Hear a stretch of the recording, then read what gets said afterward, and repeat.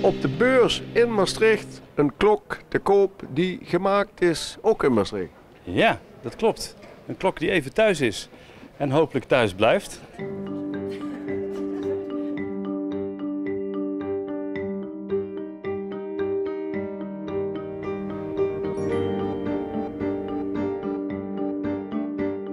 We zijn erg trots met, uh, met, uh, met uh, dit exemplaar. Gemaakt door Johannes Muis in Maastricht. Ook gesigneerd en gedateerd zelfs. Het is een klok gemaakt in het jaar 1656.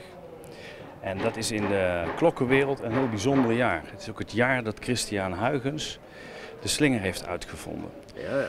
En vandaar dat 1656 echt, dat doet het eh, hart van een klokkenmaker sneller kloppen. De heer Muis, deze maker, die heeft een, een, een, vergelijkbaar exemplaar gemaakt. En dat is in de British Museum in Londen hangt het, waar ze er erg trots op zijn. Is erg vergelijkbaar, qua uiterlijk ook. Dan moet eerlijk toegeven dat deze qua wijzerplaat en qua werk het er veel beter heeft afgebracht.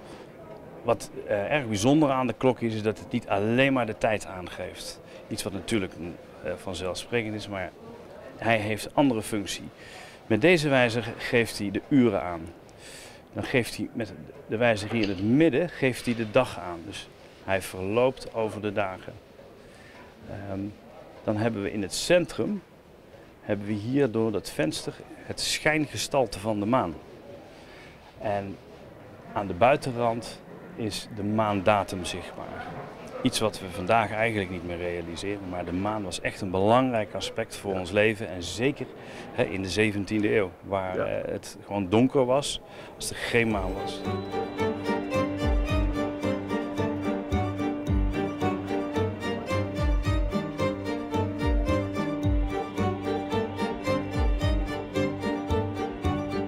En eh, die doet het nog?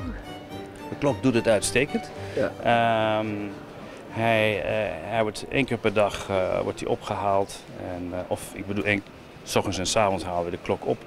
Ja. En, en dan Met doet die, met die gewichten, zeg maar. Ja, met de, met de gewichten, dat doen we hier. En Oké.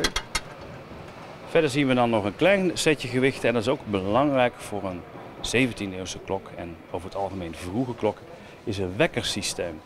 En dat wekkersysteem is niet heel nauwkeurig, want we kunnen het precies op een uur nauwkeurig instellen. Dus het is of 6 uur of 7 uur. Eh, ik noemde net die datum van 1656. Daarna werden klokken veel nauwkeuriger.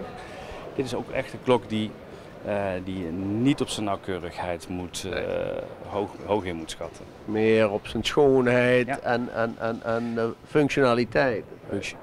Ja. En, en zeldzaamheid. Ja. We moeten ons realiseren dat van, eh, van Maastrichtse klokken van hoge kwaliteit zijn zeer, zeld, eh, zijn zeer zeldzaam. En eh, oh, aan welke waarde moet ik dan denken? Nou, het is wel een klok van de hogere, het is een, het is een kostbare klok. Het is, ja. Enkele tonnen? Ehm, dat niet, maar het, is, maar het is wel een kostbare klok.